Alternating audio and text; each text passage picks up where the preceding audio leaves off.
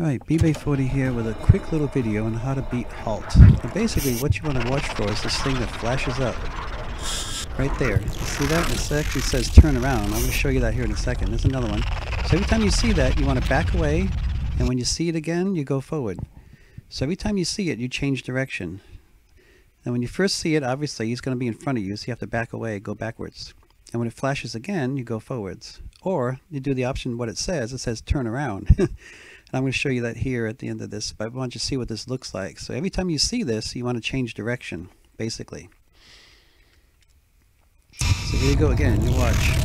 Now it's going to flash, and I go forward. Because he was in front of me and he disappeared. Now it's going to flash again, I'm going to turn around this time. So I started backing up, just turn around, it'll flash again. So you got to watch for it. Every time it flashes, you have to change direction.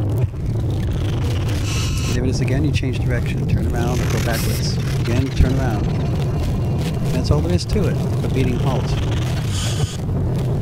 Now one time I came into this uh, room with Halt, and as soon as I opened, as soon as the door opened up, he killed me. He was like right there waiting at the door, and sometimes that happens, and there's nothing you can do about that. So, now watch. If you get too close to the door, if you see that flash before you get to the door, don't rush for the door. Turn around and go back, otherwise he'll get you.